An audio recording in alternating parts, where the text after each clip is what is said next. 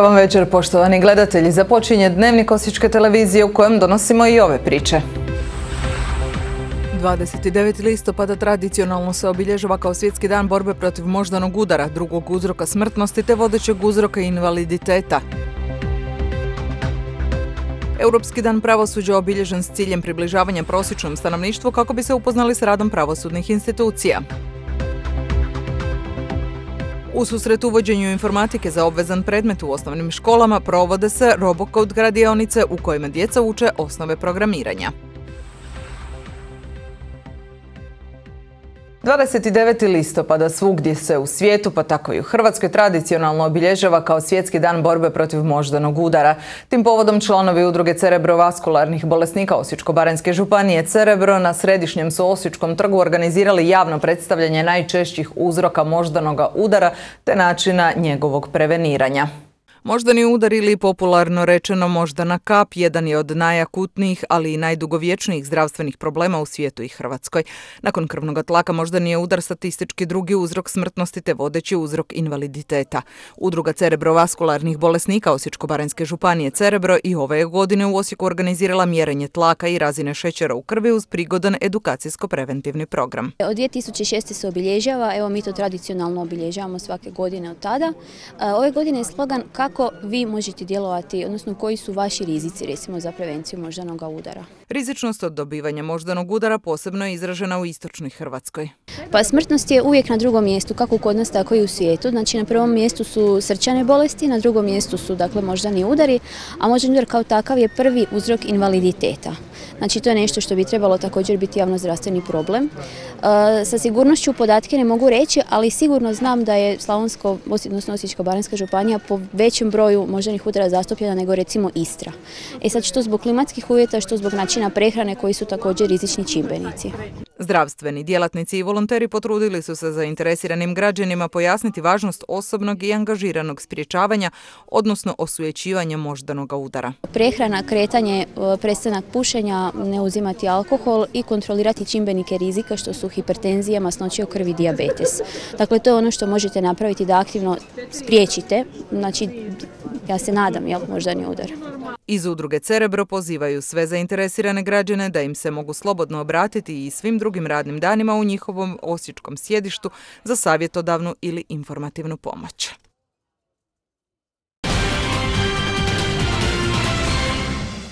Vijeće Europe i Europska komisija 2003. godine pokrenule su inicijativu za obilježavanjem Europskog dana pravosuđa kako bi taj važan dio svake društvene zajednice što više približili prosječnom stanovništvu. Dan otvorenih vrata Trgovačkog suda u Osijeku bio je prilika da se svi zainteresirani pobliže upoznaju s radom ove važne pravosudne institucije. Okružni privredni sud u Osijeku kao preteča današnjeg trgovačkog suda osnovan je 1954. kada su prestale djelovati dotadašnje državne arbitraže. Privredni sudovi rješavaju sporove važne za gospodarstvo te privredne prijestupe, stečeve, likvidacije, platne naloge te vođenje registra privrednih organizacija. O svemu tome organizirano su se u Trgovački sud u Zagrebačkoj ulici u Osijeku na Europski dan otvorenih vrata sudova došli upoznati učenici četvrtih razreda ekonomske i upravne škole. Kako se čini evo ovdje na Trgovačkom sudu? Pa zanimljivo je zato što je to naša struka i možda ćemo mi biti na radnom mjestu ovdje nikad se ne zna. Jeste naučili nešto novih stvari? Pa jesmo, objašnjavaju nam ovaj radnici kako se tu radi, sve u pisarnicama i tu. Znači zadovoljni si? Da. Srednjoškolci su obišli sve sudske odjele, od parničkog izvan parničkog preko stečajnog dodjela sudskog registra, pisarnice, te se na kraju izravno upoznali s radom suca Trgovačkog suda Borisa Vukovića. Čini mi se vrlo zanimljivo zato što dosta ljudi, vidim zapravo koliko tu dosta ljudi rade, bave se s tim poslom i koliko zapravo imaju dosta e, za napraviti nešto. Mislila sam da to sve ide kao na brzinu preko interneta, no međutim ne ide tako. To je još uvijek sve preko papira, moraju se znači, staviti pečat i sve, ne znam. Gdje sebe vidiš, da li ovdje u ovom tom pravosudnom sustavu ili? E, pa ne baš, to jest možda, ali to još ne znam, vidjet ću. U Trgovačkom sudu u Osijeku utvrđeno je ukupno 16 sudaca, a uz njih su još 53 službenika i 10 namještenika. Samo ustrojstvo i način rada Trgovačkog suda i nije baš fascinirao sve učenike koji su za svoje srednjoškolsko obrazovanje odabrali srodnu ekonomsku upravnu struku. Lijepo mi je ovdje, ako ne planiram ovdje raditi, ali... Kako ti se činio, možda malo dosadno? Malo da, malo je. Pa vjerujem da za nas je, koji, možda za mene koji, koji me ne zanima ovo, ali Gdje sebe onda vidiš u budućnosti? U Njemačkoj. Nadležnost rada Trgovačkog suda u Osijeku proteže se prvenstveno na Osječko-Baranjsku i Vukovarsko-Srijemsku županiju, a u njegovom okviru djeluje i stalna služba u Slavonskom brodu, čija nadležnost obuhvaća Brodsko-Posavsku i Požeško-Slavonsku županiju. Već iduće školske godine informatika bi trebala postati obvezan predmet u hrvatskim osnovnim školama, jer prirodne znanosti iz STEM područja već odavno nisu zanimanja budućnosti, već sadašnjosti. Dobro to zna i ekipa Osijek Software City, pa se već neko vrijeme u osječkim osnovnim školama provode RoboCode radionice, čiji je cilj kroz igru djecu naučiti osnovama programiranja. Ovo je EV3 Storm, najnapredniji model LEGO Mindstorms robota u stanju pripravnosti za izvršavanje niza naredbi. Sada da vidimo kako to funkcionira u praksi. Evo naš robot je krenuo. Zadali smo mu da ide ravno, skrene e, lijevo i ode e, do ove e, jakne s kostorom. Sad nadam se da smo mu dobro dali koraka dosta da dođe dovoljno. Inače se sad bio zabio više puta, ali ovaj put zadnje je dobro išao. Pa mislim da će ovaj put ići. Evo, ovo samo znači da ste mu zapravo zadali dobre komande. E, Da, Robocode projekt je znači operativni program pod pokroviteljstvom Osijek Software City, a jedan od njegovih mnogobrojnih projekata gdje učimo djecu raditi i programirati robote. Tri motora, jedan srednji, dva velika koje svu djecu podsjećaju na gusjenicu i svi, apsolutno svi kažu na tenka. Potom imamo senzor, imamo senzor dodira, senzor boje i senzor vida. Znači tu najčešće uvjetujemo, ne znam, idi do zida dok ne dođeš do određene blizine i onda stani, primjer. I s ovim u biti mi slažemo blokove i govorimo ro- robotu što da kaže, znači to je također službeni LEGO program. Prirodne znanosti i STEM područja već odavno nisu zanimanja budućnosti, već sadašnjosti, pa i djelatnici Osječke osnovne škole Vladimira Becića, koja je ugostila ovo izdanje RoboCode radionice, pozdravljaju inicijativu ministrice Divjak o informatici kao obveznom predmetu u osnovnim školama, no uz dozu opreza. Potrebna je novija skupa oprema. E sad tu ćemo vidjeti koliko će nam ministarstvo, koliko će naši osnivači uskočiti jer škole to zaista svojim sredstvima ne mogu. Mogu nabaviti možda koje računalo, ali u biti ne za potrebe uvođenja obaveznog predmeta. Informatika je vrlo dinamična i nemoguće napraviti udžbenike koji će e, vrijediti četiri godine i da će pratiti e, nastavu i suvremene tijekove u informatici. Znači trebalo bi nekako riješiti da, da e, udžbenici se, se izdaju ili svake godine ili da, da dobijamo u nekom digitalnom obliku e, materijale. U nedostatku suvremene opreme i gradiva, učenici koji žele malo više često su prepušteni sami sebi, pa ljubav prema programiranju i robotici umjesto u školi razvijaju u vlastitim domovima. Ima puno ljudi onako na YouTube, na primjer, kako se to sve radi i onda, onda sam se zainteresirao oko kompjutera i Aha, znači na YouTube gledaš kako se nešto radi i onda sam to možeš napraviti. da. Zašto baš to STEM područje? Zato što je u njemu budućnost, najjednostavnije rečeno, pogotovo tehnologija, pogotovo robotika, to ide.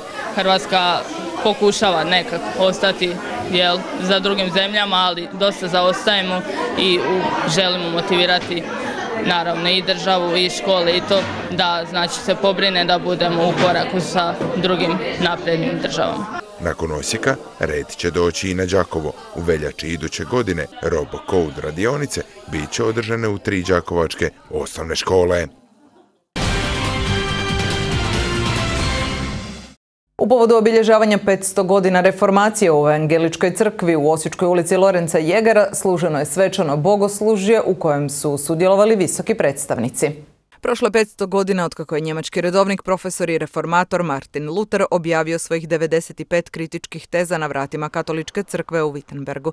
Radi se o događaju koji je promijenio i podijelio kršćanski svijet. Povod je to obilježavanje velike obljetnice 31. listopada 2017. a to je pet stoljeća reformacije koju je organizirala i Evangelička luteranska crkvena općina Osijek. 50. obljetnica reformacije e, je dogovoreno u cijelom svijetu što se tiče naše evangeličke crkve da se neće slaviti u onom luteranskom stilu nego da ćemo biti više okrenuti ekumeni. E, to je i bilo rečeno još prošle godine na 31.10. dana reformacije kada je u švedskom gradu Lundu našem bogoslušu prisustvovao e, Papa Franjo. Tako ćemo i mi nastaviti u tom duhu, biti otvoreni za suradnju sa svim braćama i sestrama. Nadbiskup Đakovačko-Osječki Đuro Hranić pohvalio je ekumenski pristup ovom jubileju, a to je da se 500. obljetnica ne slavi, već obilježava. I mi katolici sada smo puno mudriji i da je kojim slučajem crkva u ono vrijeme bila osjetljivija na ozbiljna pitanja i utemeljena pitanja koja je u, sve, u svoje vrijeme postavljao Martin Luther i da je možda 20 godina ranije sazvala Tridentinski sabor na kojemu je kasnije odgovorila na Tridentinskom saboru na ta pitanja, vjerojatno da do raskola unutar crkve ne bi niti došlo. Nadbiskup Hranić podsjetio je i na činjenicu kako je 1997. godine potpisan katoličko-luteranski sporazum u kojem je teološkim pristupom odgovoreno na mnoga pitanja koje je postavljao još Martin Luther. Odvojeni život kroz 500 godina donio je nova pitanja, tako da je zasigurno pred nama jedan e, ozbiljan e, ekumenski dijalog. Istodobno postoji otvorenost jedna i za nas sinove katoličke crkve nema vjernosti crkvi, nema vjernosti Isusu Kristu, ne biti osjetljiv za Isusovu molitvu koju je on molio kao svoju oporučnu molitvu da svi budu jedno. Oče, ti u meni ja, kao što smo ti u meni ja u tebi, da i oni tako budu jedno. Obilježavanje 500 godina reformacije u svijetu, pa tako i u Republici Hrvatskoj, ima puno šire i puno dublje kulturno i društveno značenje. Posebice ovdje u Istočnoj Slavoniji i Osječko-Baranjskoj županiji gdje je uključenost evangeličke crkve u svakodnevni suživot vrlo velika i gdje je evangelička crkva i evangelička općina dala poseban doprinos posebno u, u, u novijoj hrvatskoj povijesti. Nadam se evo i vjerujem da će tako biti i u buduće. Zlatna ravničarska jesen idealno je vrijeme sazrijevanja pa samim tim i konzumiranja bundeva ili tikva svih vrsta i veličina. Slavonske tržnice i trpeze sve su bogatije raznolikim pripravcima od bundeva koje imaju iznimno nutritivna svojstva što znači da uspješno jačaju i ljudski imunitet. Tikve i tikvice, bundeve i buče. Ima ih doista svih veličina, oblika i pastelnih jesenskih boja. Velike ili male mogu se spravljati na doista mali milijun načina, pa je tijekom ovog doba godine u ravničarskim krajevima skoro univerzalno jelo za svaku trpezu. Dok smo ljeti uživali onim e, lijepim malim tikvicama, sada je vrijeme e, za bundevu i zapravo je jako dobro uvrstiti u jelovnike, budući da je to jedna od rijetkih e, svježih namirnica koje možemo uživati čak i zimi. Znači ona je ona se dobro skladišti, možemo ovaj dugo, dugo ovaj pripremati dok ne dođe ono svježe. Naše podneblje je idealno za uzgoj bundeva. Pa naravno, iako je to, moram reći da je to, dosta, da je to ove godinama bila zapostavljena i zaboravljena namirnica, ali ove, kako, kako se istražuje sve više namirnice e, i kako dolazimo do spoznaja o njihovoj nutritivnoj vrijednosti, afirmiraju se sve više i one namirnice koje su zapostavljene i zaboravljene, a bundeva je svakako jedna od tih u našim krajevima. Stiže nam jesen, evo tako došle su nam i bundeve.